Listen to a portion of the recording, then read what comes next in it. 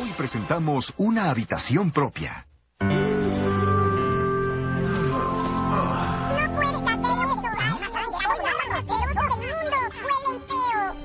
son mis calcetines. ¿En serio? Pues tienen una letra A. Así que, ¿a quién podrían pertenecer? No lo sé. Tal vez A de Alberto o A de Alfonso o tal vez A de Arturo. ¿Pero quién es Arturo? Un tipo con calcetines apestosos como los de Alvin.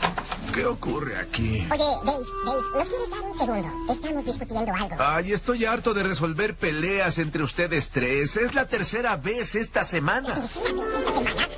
Creo, creo que estás exagerando, Dave. ¿Qué me dicen de la pelea por el balón? ¿Qué hay del avión a control remoto que salió volando por la ventana? ¿Qué hay de... ¿Qué huele tan mal? Oh, oh. Dave,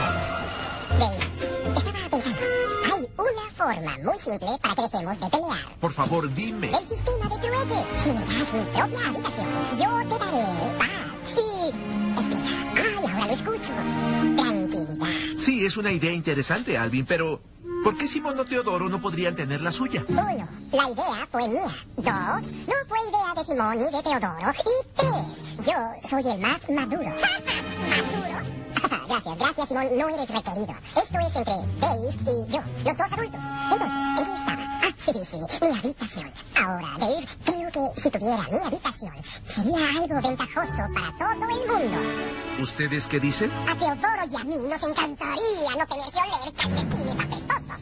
Tú lo has dicho. Muy bien, Alvin, te diré una cosa. Muéstrame que tienes la madurez y responsabilidad para tener tu habitación y lo consideraré. Excelente. Porque no hay nada que quiera más en el mundo que estar solo. Muy bien, Dave. Voy a hacer mi tarea.